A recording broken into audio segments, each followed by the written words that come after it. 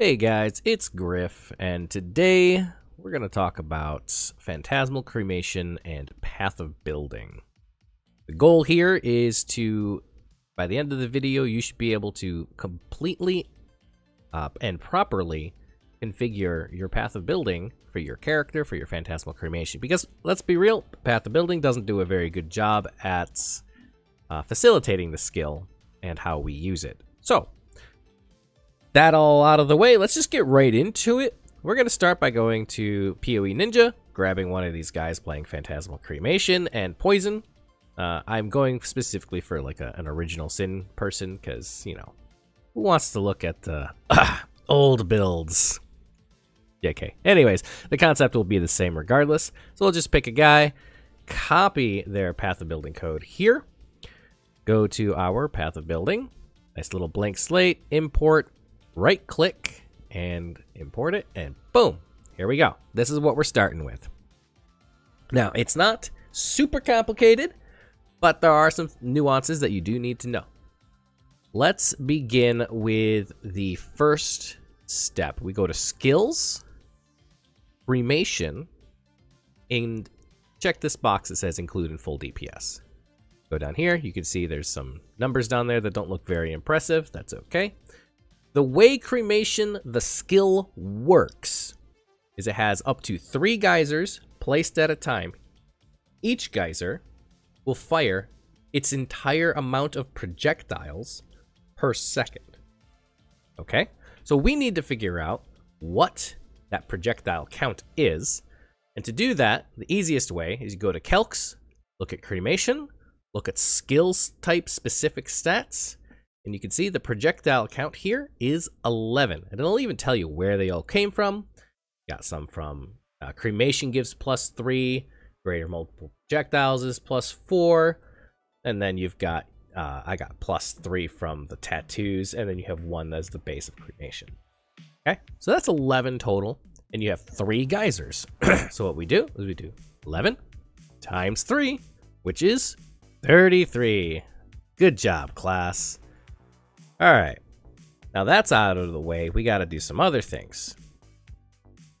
So let's go ahead and go to the configuration box. Get rid of all these red ones. They don't matter. I'm going to set the is the enemy a boss from Guardian Pinnacle. I'm actually going to set that to Uber Pinnacles.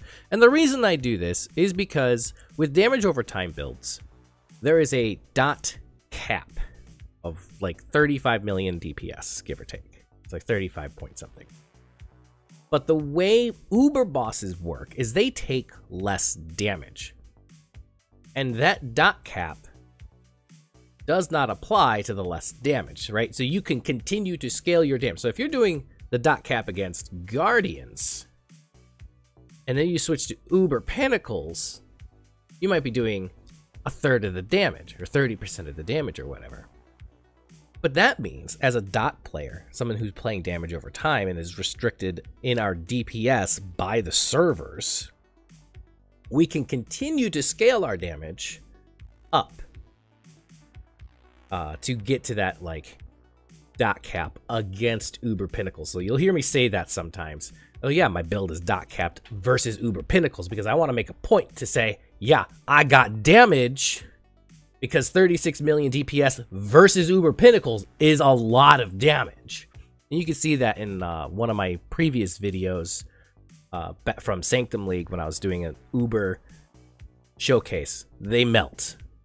So that's why I like to set this to Uber Pinnacle bosses. And you sh should note that the enemy level is 85 for these, and that is important for the next step. But what we want to do now is set cremation to corpse explosion. And we see this little box here. It says enemy corpse life. Well, what the heck do we put in this?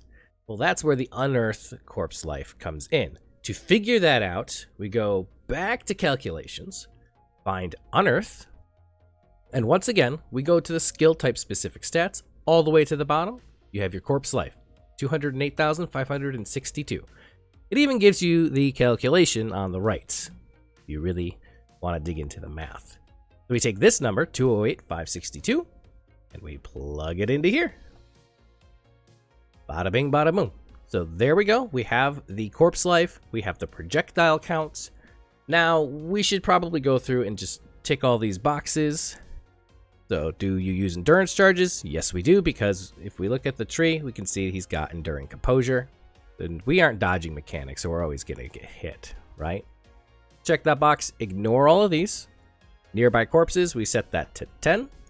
Uh, the reason we want to set that to 10 is for Essence Glutton. That cares about, and it's just like ES regen and mana regen. And then also Plaguebringer cares about having nearby corpses. You do 10% more damage when there's a corpse nearby, and you take 10% reduced damage when there's a corpse nearby. So that's important. Have you been hit recently? Yeah, we don't dodge things. Spawned a corpse? Obviously. Consumed a corpse? Definitely consumed a corpse in the past two seconds? Yes. Number of corpses consumed recently. I leave this blank because it doesn't actually affect anything, but if you really want to, you'd set that to 100, but we'll leave it blank uh, for a reason that I will get into momentarily. Then we go to skill options. You can mess with like, you know, your cruelty buff. Like if you're doing Uber Pinnacles, this might actually only be like 30% against an Uber boss, right? Uh, Frost Shield, I like to stage up to four, and then uh, those don't matter. Withered stacks, I'm going to set to 15. But Griff, how do you get withered? Well, if we look at the items, we can see he's using a Balance of Terror. Inflict Withered for 2 seconds on hit if you've cast Despair in the past 10 seconds. You cast Despair, and then for 10 seconds, you have a buff that says you inflict Withered on hit for 2 seconds. And since we have, you know, 50 plus hits per second between the spell part of the cremation hit projectiles, the unearth spam, and the explosions that cremation is causing on the unearth. Like you're getting 15 stacks in less than a second, or the or the thing is dead, right? So it's very safe to assume that we have 15 stacks of withered. Uh, they're not ignited because we're doing full chaos damage. They are shocked, but Path of Building is already taking that into account. Unconsecrated Ground is fine if he's using like Bottled Faith or whatever he is. And I think that's it for boxes to check. Unnerve, we don't do spell damage. It, just, it doesn't do anything, so don't worry about getting it. I know somebody's going to ask me that question. No, spell damage effects do not do anything for us. Not only are we poison, and it really doesn't do anything for that, but also we're scaling off of corpse explosions, which again is not a spell damage thing. Don't worry about that. If you want to click this button here, disable EHP gain on block slash suppress, like right now you can see the effective hit pool is infinite, which, wow, cool, um, doesn't really help. doesn't help if you're trying to make upgrades to make yourself tankier or whatever. So I go, I like to click that button and say, hey, yeah, okay, 639,000. That's a really, that's a pretty respectable effective hit pool when you don't have the block recovery taken into account we got tanky boy. Almost 200k elemental max hit, 36k phys hit. Pretty good. So this is the configuration for cremation here. Now there's one more thing we gotta do. And that is, wow, look at all this damage, 48 million. However, if we go to spell on the cremation, you can see that the cast rate is 1.87. Now this is where Path of Building kind of gets kind of a little sussy. 1.87 is literally giving 87% more damage in the full DPS. Now, I've seen some Path of Buildings of like the old crit versions that are like, this is 200 million DPS, but it's actually like 34 because of Path of Building is just kind of screwing things up. So, what you do, which is, is really easy, we just type in cremation has, I'm going to start with 50% reduced cast speed. You see what it does to here? So cast rate is 1.01. Uh, what a, I know. Yeah, he's got action speed on his boots. So what I like to do here is if they if there's something weird where you have like that 1.01, we'll just do like 1% increased action speed. And note that this does not do anything else like for the DPS. This is just so I can get a nice even one cast per second. So in this case, it's 51%. Everyone's will differ. Now, if you set this little bar here to 100, now it's 4.5 cast per second. You just have to put a little 2 in front of this, and there you go. 251% reduced cast speed. The goal, excuse my rambling, the goal is to get to exactly one cast per second. Okay? That's the goal. Now, once you have that, type it into here. Now, the way this is working is we know, again, and I explained this earlier, that cremation geysers fire all of their projectiles over one second.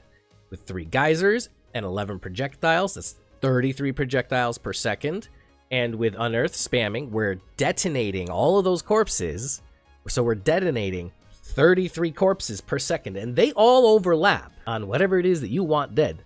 So that's the way we're getting to our 33 explosions per second. That's why we've got it set to 33 in the skills section, etc. We're going to go back to corpse explosion, and we can look down here. Now that full DPS dropped from 48 to 42.4. Now the full dot DPS is still Still in effect, 35.8 million DPS. That is the cap. That is the limit. You can't go higher than that in the game because it just, you can't. The servers will not allow it. Now, if you want to have some uh, cremation measuring contests as far as, you know, your actual, like, top, top DPS, what you can do is go to, like, Guardian and then set the Delirious to 100%. And this is basically what your damage is going to be like in Simulacrum's Waves 20 and on. And you can see here, his DPS for that is 28.8 million. So if you wanted to increase your damage further for the purposes of like simulacrums or something like that, that's what you would uh, that's what you would check right there. Uh, you would have to also adjust the corpse life ever so slightly. It's not a huge difference, but like, you know, between 84 and 85. Again, we go to Unearth. Oh, now it's 201, 146. And that's because the life scales with the level of the area. 201, 146. Well, that's a little bit different than than this. 201. Let's say it was 146. Very slightly less damage. 27.8. Anyways, and that's really it. That's all you got to do. Again, just to check off some boxes real quick. You want to make sure that you are set clicking the full DPS with your total projectile count per second you want to make sure your cremation cast speed or cast rate is 1 per second so that Path to Building doesn't overrate your DPS or under. And then you just want to make sure you're checking all the corpse specific boxes and have this, you know, cremation reduced cast speed. Again, get it to exactly 1. And that's it. Thank you guys for watching. If you like this sort of video, please leave a like and subscribe. If you want more videos regarding Phantasmal Cremation, uh, go ahead, leave a comment below and tell me what it is you want. We can figure something out. And with all that being said, we'll insert a catchy phrase here, and peace out.